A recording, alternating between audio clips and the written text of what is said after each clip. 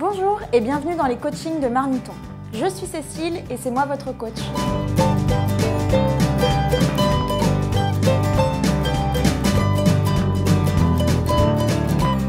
Le coaching d'aujourd'hui est un spécial débutant et nous allons parler des crèmes et des mousses. Sous la vidéo, vous pouvez télécharger cette feuille de route. Elle vous guidera tout au long du coaching et vous permettra de passer d'une étape à l'autre simplement en cliquant sur les triangles juste en dessous. Par exemple, si vous savez déjà faire une mousse au chocolat mais que vous ne savez pas faire la chantilly, cliquez sur le triangle numéro 8. On commence avec une recette facile et délicieuse, la crème au chocolat. Pour ça, il vous faudra 1 litre de lait, 50 g de cacao en poudre, 200 g de sucre et 8 jaunes d'œufs. On commence par faire bouillir le lait avec le cacao en poudre. Puis dans un saladier, on bat les 8 jaunes d'œufs avec le sucre en poudre. Ensuite, on verse le lait par-dessus et on met la préparation dans des ramequins qui vont au four. Une petite astuce valable pour toutes les crèmes. Avant de mettre au four, pour éviter les bulles, vous pouvez écumer votre préparation. On place les ramequins dans un grand plat qui va au four et on ajoute de l'eau pour faire cuire au bain-marie 30 minutes à 180 degrés.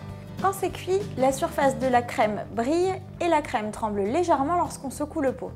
On peut aussi faire cette crème avec de la vanille, du café, de la fleur d'oranger ou encore du caramel. Lorsqu'on la fait à la vanille, c'est cette recette qu'on appelle aussi les œufs au lait. On peut également faire des crèmes dessert sans œufs et en utilisant de la fécule de maïs, plus connue sous le nom de maïzena. Pour faire par exemple une crème à la vanille, il vous faudra 1 litre de lait, 125 g de maïzena, 200 g de sucre et une gousse de vanille. On commence par mélanger 50 cl de lait froid avec la maïzena.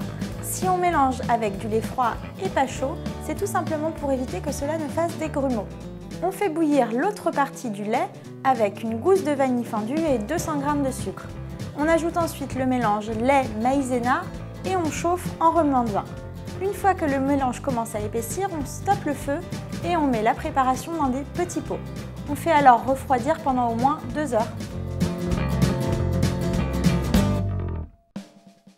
Autre classique des crèmes dessert, la crème caramel, qu'on appelle aussi crème renversée.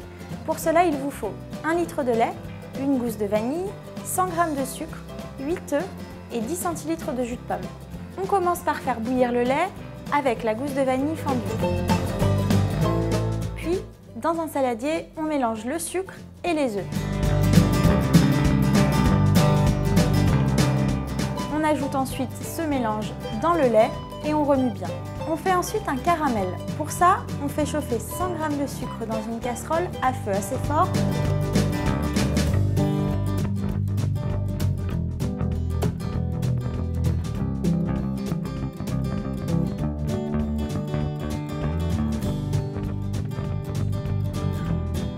Dans une autre casserole, on fait chauffer les 10 cl de jus de pomme qu'on ajoutera sur le caramel une fois prêt. Verse ensuite le caramel dans le fond du moule, puis par-dessus on ajoute la crème. Ensuite, on met dans un plat plus grand, au bain-marie, et on fait cuire au four 50 minutes à 180 degrés.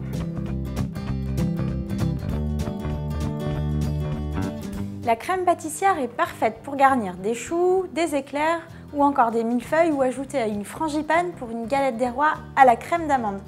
Pour ça, il vous faut 1 litre de lait, une gousse de vanille, 4 jaunes d'œufs, 200 g de sucre et 100 g de farine. On fait bouillir le lait avec la gousse de vanille fendue. Puis, on mélange les 4 jaunes d'œufs avec le sucre. On ajoute ensuite le lait chaud et 100 g de farine et on mélange bien. On verse cette préparation dans une casserole et on fait cuire à feu doux sans s'arrêter de mélanger jusqu'à ce que le mélange épaississe et atteigne la consistance souhaitée. Une fois que la préparation a refroidi, on la filme au contact et on la réserve au frais. On peut alors la consommer sous 2 ou 3 jours. Autre grand classique, parfait pour accompagner les gâteaux, la crème anglaise. Pour ça, il vous faut 1 litre de lait, une gousse de vanille, 125 g de sucre en poudre et 4 jaunes d'œufs. Dans une casserole, on fait bouillir le lait avec la gousse de vanille fendue. Puis, dans un saladier, on fouette les 4 jaunes d'œufs avec le sucre en poudre jusqu'à ce que le mélange blanchisse. Une fois le lait chaud, on l'ajoute à la préparation et on mélange rapidement pour éviter qu'il ne cuise les œufs. On remet ensuite à chauffer à feu moyen en mélangeant doucement. On appelle ça vanner. La crème anglaise est cuite lorsqu'elle est nappante. Pour vérifier, plongez une cuillère en bois dedans, dessinez un trait dessus et si le trait reste clairement visible, c'est qu'elle est prête. Le classique des mousses, c'est la mousse au chocolat. On va donc apprendre à en faire une délicieuse et toute simple. Pour ça, il vous faut 120 g de chocolat noir, 4 œufs et 50 g de sucre. On fait fondre le chocolat à feu doux, puis on sépare les blancs des jaunes. Ensuite, on mélange le sucre avec les jaunes d'œufs, puis on ajoute le chocolat fondu en mélangeant bien. Ensuite, on bat les blancs d'œufs en neige. On les ajoute au mélange délicatement avec une spatule sans les casser. Enfin, on place le mélange dans des petits ramequins et on réserve au frais environ 2 heures. Pour changer du chocolat, nous allons préparer une mousse aux fruits. En l'occurrence ici, nous allons faire une mousse au citron. Pour ça, deux possibilités. Utiliser soit de la gélatine, soit de l'agar-agar. Pour en savoir plus, vous pouvez cliquer ici. Pour la mousse au citron, il vous faut 3 g de gélatine, 2 citrons non traités, 4 œufs et 70 g de sucre. On commence par faire ramollir 3 g de gélatine dans un peu d'eau froide, soit une feuille et demie puisqu'une feuille fait 2 g. On prélève les zestes de citron, puis on les presse.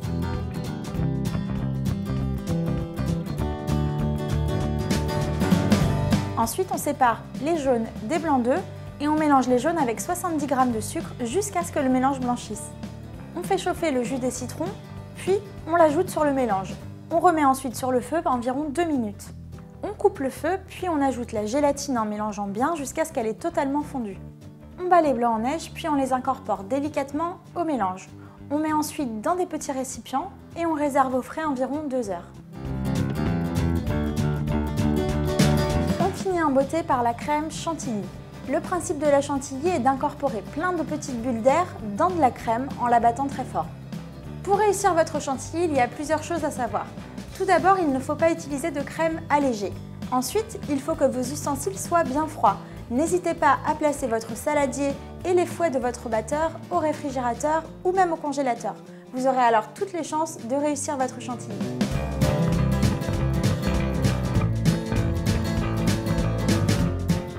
Et voilà, maintenant vous connaissez les bases pour réussir vos mousses et vos crèmes. Alors on se retrouve bientôt pour un prochain coaching sur la viande rouge. En attendant, n'hésitez pas à vous abonner à la chaîne Marmiton et à poser toutes vos questions dans les commentaires. A bientôt pour un prochain coaching.